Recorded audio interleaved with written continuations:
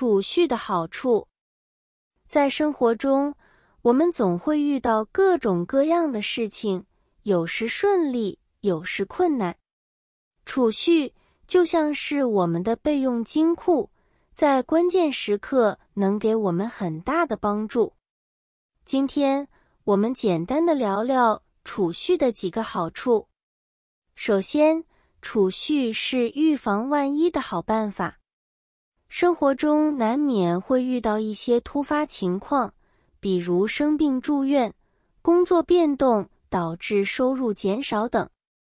如果我们平时就存了一些钱在银行里，当这些事情发生时，我们就不会那么手忙脚乱，能够更从容的应对。其次，储蓄是实现愿望的小帮手。每个人都有自己的小愿望。比如买一辆新车，去一个向往的地方旅行，或者为家里添置些新家具。如果我们定期储蓄，把一部分收入存起来，那么这些愿望就更容易实现了。储蓄就像是我们的梦想基金，让我们离梦想更进一步。储蓄还有一个重要的作用。就是让我们学会更合理的消费。有时候我们看到喜欢的东西就忍不住想买，但这些冲动购买往往是想要而非真正需要的。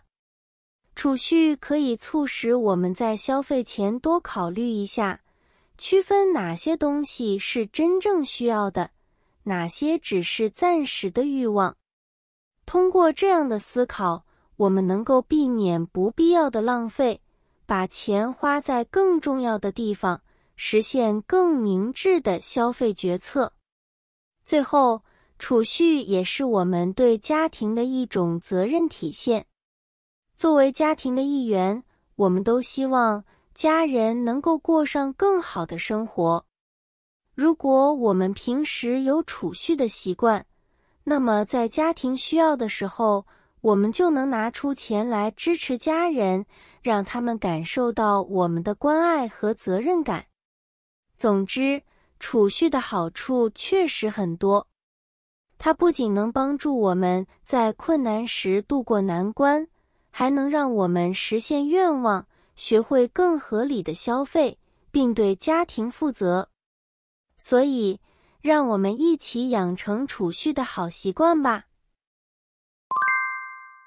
喜欢韩语同频道的朋友，你们是光芒闪烁的星。每个视频都是用心制作，希望对你学习有所帮助。感谢你们的关注和支持，让我们一起成长。记得订阅我们的频道，让我们一起学习别。